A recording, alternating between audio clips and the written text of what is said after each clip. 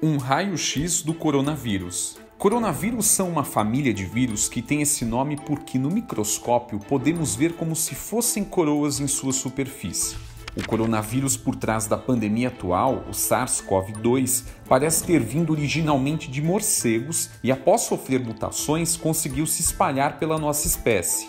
A doença, batizada de Covid-19, começou a se disseminar a partir da cidade de Wuhan, na China, o vírus entra no corpo pelo nariz, pela boca ou pelos olhos por meio de gotículas de saliva, tosses, espirros e contato com ambientes contaminados. Para ter sucesso, ele se conecta ao receptor de uma célula dessas regiões e a invade.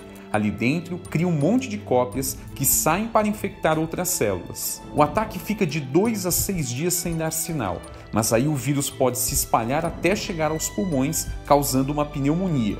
Até 15% dos infectados têm complicações graves, como insuficiência respiratória.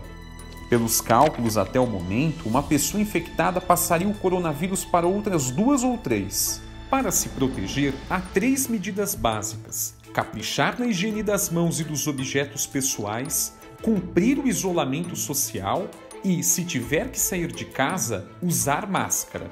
Se tiver sintomas parecidos com os de um resfriado, fique em casa. Agora, se eles piorarem, houver febre alta, falta de ar ou confusão mental, procure atendimento médico.